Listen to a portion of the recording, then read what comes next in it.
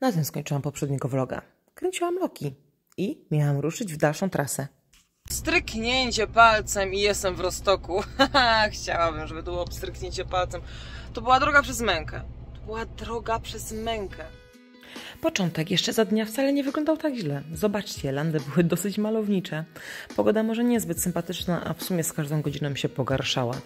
Tak naprawdę cyry, no, zaczęły się, już można powiedzieć, chwilę później. I tak mnie trzymały do samego Rostoku. I co? Wychodzi na to, że muszę objeżdżać sobie jedną tutaj miejscóweczkę, ponieważ jest znak, że Yy, czytam znak Lieferwerker Freibis Eingel, Eingerstelle. Nie, nie widzę nawet do tej pory.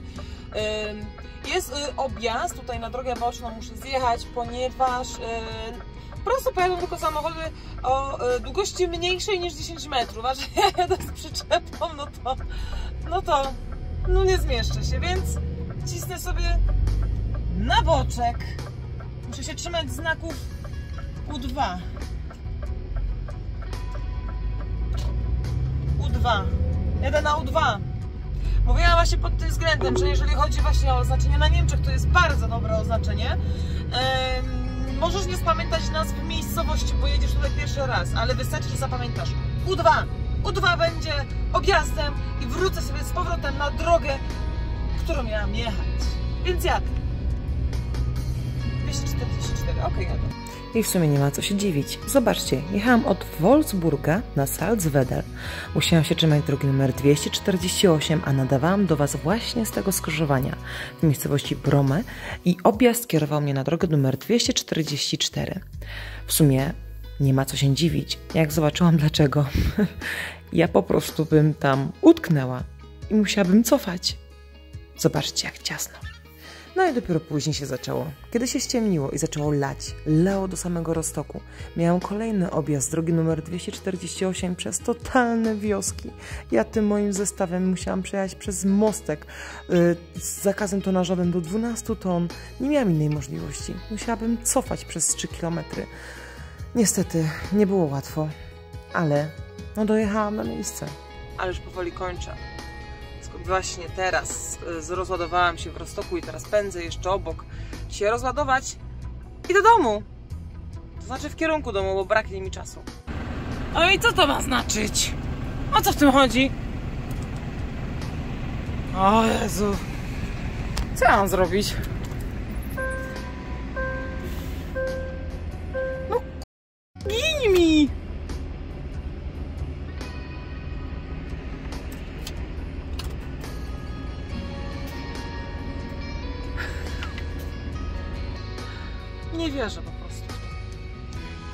No i co ja mam teraz robić?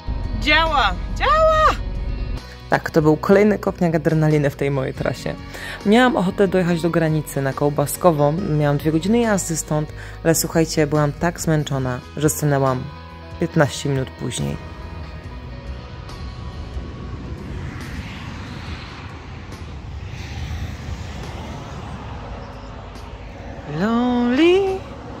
I'm so lonely.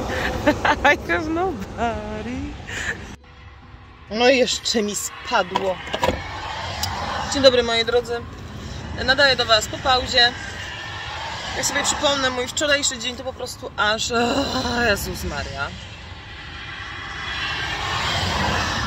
Najgorszy był przejazd od Brunszwiku do Rostoku. Jechałam słychać mnie tutaj, zaraz będę do was mówić, poczekajcie. A skąd ty się tutaj uchowałeś?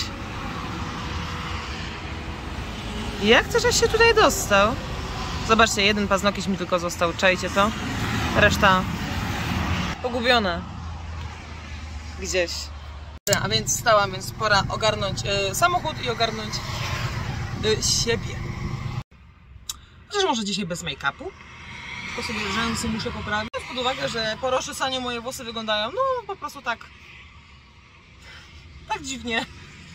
Powiem Wam, że zaczynam naprawdę doceniać lokówkę bezprzewodową. To ma naprawdę bardzo dużo uroków. Znowu sobie po, podkręcę moje końcówki. Pokażę wszystkim, jaka jestem zakręcona. Nagrzewa się. Nagrzewa się, już czuję to.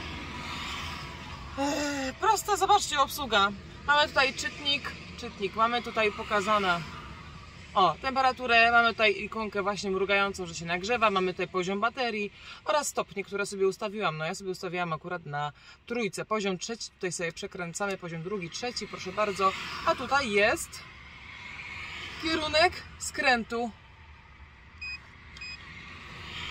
Tyle. Tylko tyle i jaś tyle. Jadę z koksem.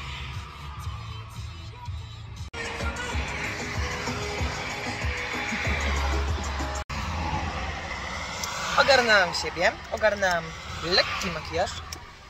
Przymknę te okna, bo kurde, pędzę na tej autos- autostradzie, ja nie wiem. Gdzie oni tak wszyscy śpieszą? O, przyczepki jadą. Tak, jedźcie sobie na wakacje. Kierowcy chłodni nie mają wakacji. Ogólnie mam jakieś półtorej godziny do Orlena, yy, więc po prostu marzy mi się kawa, marzy mi się kawa. Coś tutaj mi się rozmazało, a walić to. Marzy mi się kawa i marzy mi się powrót do domu, ale wiecie, jestem wyspana, zostało mi 50 minut pauzy, więc jest spoko. Jest całkiem spoko. Dobra. Czas stąd spadać. Tyle powiem. Tyle powiem. Czas stąd spadać.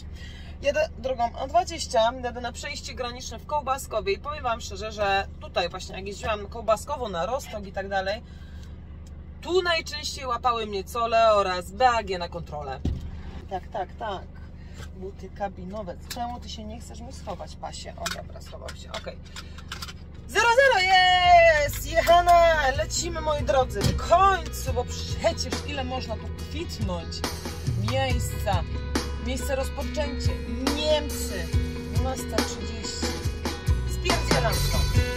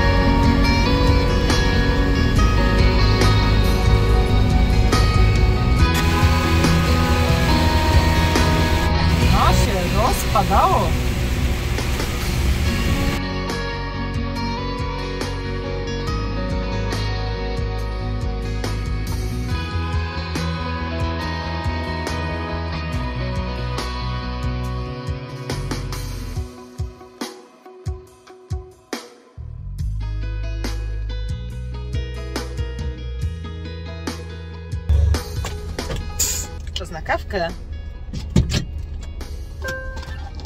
Och, światełko. Niech se pędą postojóweczki. Idę po kawę. Co tyle ludzi? Jak mnie postawi na nogi, już marzyło mi się o tej kawie od dawna. Chodź ze mną.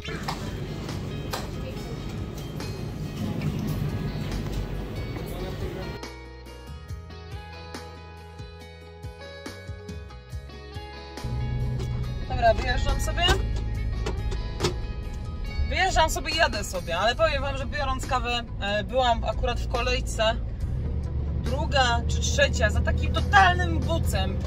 No masakra, facet z wyglądu fajny, wiecie, fajnie ubrany, wysoki, ostrzyżony dobrze, lekki zarost. I taki sobie chłopak był za kasą i się pyta, paliwko było? Cisza. Paliwko było? Przepraszam, pan do mnie mówi? Tak. Pytam się, czy paliwko było. Nie rozumiem pytania. Mi już, wiecie co, ciśnienie się podniosło. Jak ja nienawidzę czegoś takiego. No nienawidzę takiego, takiego zachowania. Pytam się, czy tankował pan paliwo. Chyba bym powiedział, prawda? Jest tym na granicy, e, w Kołbaskowie. Jest tutaj chyba 14, e, 14 dystrybutorów do samochodów osobowych plus ile? Z 6 do samochodów ciężarowych? 8? Jakoś tak, nawet nie, nie przeglądałam się. Jest przemiał, jest totalny przemiał, jest tyle ludzi, że po prostu jeden za drugim podjeżdża. Nawet widzieliście teraz, y, musiałam się chwilę e, przytrzymać, bo, bo stanęli nawet w miejscach, gdzie nie powinni stawać, nie? No totalny, bo coś tam zaczął się, wiecie, wymączać, taki, wiecie, uśmieszek cwaniakowaty, co to nie ja i po prostu... ugryzłam się w język, bo ja bardzo lubię się w takie sytuacje wpierdzielać, po prostu wiecie co, przypłacam to potem swoim własnym zdrowiu psychicznym, albo ktoś mnie zrypie, albo ja sama potem stwierdzam, że było mi to niepotrzebne, ale po prostu stałam, ręce mi opadły i tak patrzyłam na niego, dosłownie, wiecie co, po... odwrócił się gościu, spojrzał się na mnie z tym takim cwaniakowatym uśmieszkiem, posłałam mu najbardziej sukowate spojrzenie, jakie tylko mogę, kurde, zrobić, nie? Po prostu mam nadzieję, że spojrzał na mnie i naprawdę dotarło do niego, że inni patrząc na niego po prostu mają takie samo odczucie jak ja, że im ręce opadają, no. Ja pierdzielę. Ludzie, no bądźmy dla siebie ludźmi w tym świecie, no. To jest standardowe pytanie. Paliwko było? Nie, nie było, proszę pana. Niektórym się zapomina powiedzieć, bo niektórzy myślą, że jeżeli zatankowali na dystrybutorze, idą do kasy, to kasy doskonale wiesz, z którego dystrybutora on tutaj przyleciał. Nie! Jest tyle ludzi, że on nie wie, on nie ogarnia rzeczywistości, no.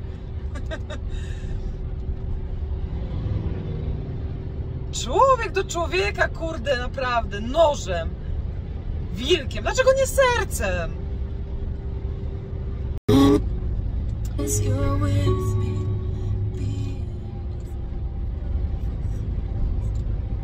Sądzę jednak, że moje bojowe nastawienie wynika z niedoboru kawy. Zdecydowanie. Jeżeli Kaśka nie piła kawy, nie wchodzi jej w drogę. Albo zrób kawę i wejdź w drogę wtedy, nie? Ale dopiero jak wypije trochę tej kawy. Ja się chciałam Was zapytać, czy Wy pojmujecie, co tutaj się dzieje? O co tu chodzi? Nie możesz się zdecydować, którym pasem jedzie? Trochę awaryjnym, trochę nie? Ma trochę awarię, a w sumie trochę nie?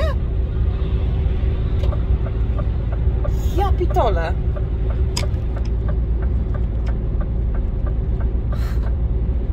Okej.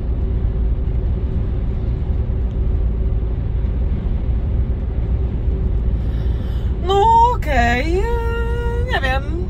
Wygląda na spokojnego.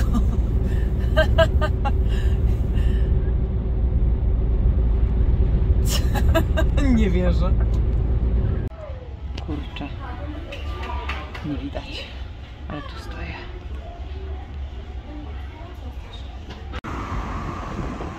Jeszcze jakieś 15 minut i jadę sobie dalej. W końcu do domu. Z piąta, o której ja będę w domu, matko. Kiedy się robi problem, moi drodzy, robi się problem wtedy, kiedy jedziesz. Ała, coś mnie stawy bolą, Boże, jak starego człowieka. Jedziesz sobie na oparach.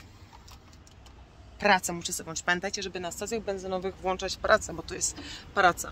A czasem na stacjach benzynowych zdarzają się kontrole i sprawdzają na to, czy jesteś na młotkach, czy tak zwanym łóżku. Problem pojawia się wtedy, kiedy jedziesz i szukasz AdBlue i tego AdBlue nie ma. Właśnie jestem na stacji, gdzie nie ma AdBlue, a mam jeden na oparach. A teraz stryknięcie palcem i już jestem w bazie. Okej, żegnam się z samochodami i z dokumentami. Pędzę do domu, bo już kurde, duży mi się to teraz jak nie wiem. Jestem zmęczona, ale nie tak mocno. Muszę sobie wypić jakiegoś dobrego drinka na wyluzowanie w domu. Przed chwilą była tęcza na niebie, także e, wszyscy się cieszą, że wróciłam do domu cała i zdrowa, łącznie z, e, bo, z Bogiem. Odjazd. Widzicie? Każdy dzień nowe przygody. Dałam radę, jestem pełna satysfakcji takiej wewnętrznej. Tak jest. I lecę. Do Paskanio. Paskanie. Trzy. I pa, wy, ludziska moje kochane. Trzymajcie się tam. Widzimy się w następnym odcinku. Ciekawe, co się wydarzy w tym naszym transportowym świecie, co się zmieni do tego czasu.